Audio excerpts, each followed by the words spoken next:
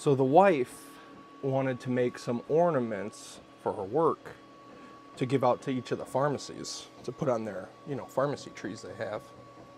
And uh, this is one she came up with. Made it from scratch on Fusion 360. She tried to print it this size first with a 0.4 nozzle. As you can see, it did not turn out the best, but it looks cool still, even though you can't really read what it says.